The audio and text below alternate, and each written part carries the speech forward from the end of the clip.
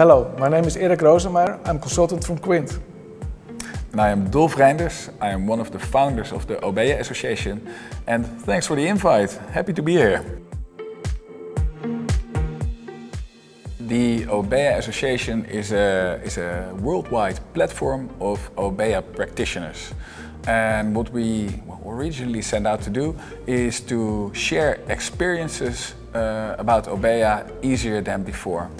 There was no community when we uh, started uh, with the Obeya Association and Obeya was, was growing in popularity. It needed a conceptual framework, it needed a community of dedicated professionals. So we, that's, uh, that's the exact thing that we built.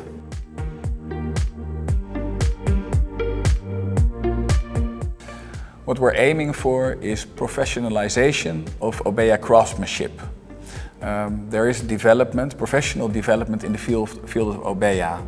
And as Obeya Association, we hope to contribute to the development of professionals, Obeya professionals. Over the past eight years, Quint supported numerous uh, large organizations in setting up uh, Obeya.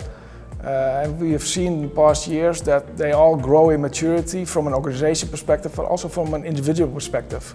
And the, the, the, the, need all these professionals have is to share their ideas, share their experiences. We as Quint uh, had the idea to set up a platform to bring this user community together. Uh, but the Obeya Association has the same setup, same purpose and same vision. So that's the reason why we thought let's, let's partner up with the Obeya Association. As Obeya Association, we always say we multiply by sharing. So the more parties with valuable experiences and valuable content pitch in together um, and share this knowledge, the more all of us can benefit. And we're very proud to be the first partner of uh, Obeya Association. Uh, now, together we have certain plans uh, which we are going to uh, execute together. And one of the first is uh, to set up an accreditation scheme for professionals uh, in which they can certify themselves because it's very important that people could show evidence that they are able to do, uh, for example, building an Obeya or hosting an Obeya. So the certification scheme is one of our first priorities to set up. Furthermore, we as Quint would like to share and provide our lessons learned, our good practices like maturity modules, implementation approaches, Obeya designs. And as Obeya Association, we're also planning a, a Japan study trip um, in May 2023, which is coming up, which is probably very exciting to share as well. Which of course I would also be there and I hope lots of others will also join us on that trip. Well, the name Obeya Master was very poorly chosen.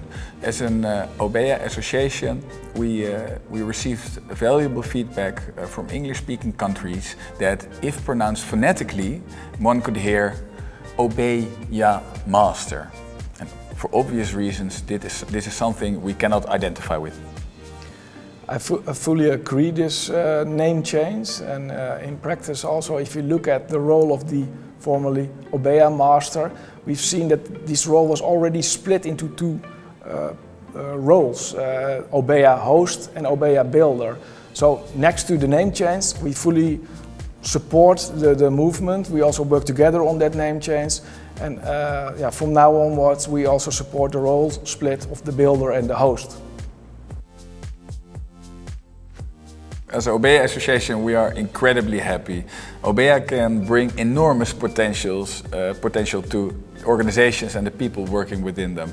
Um, and together with Quint, uh, this makes it even more possible to bring beautiful content, expertise, and a platform where all the Obeya practitioners can meet together.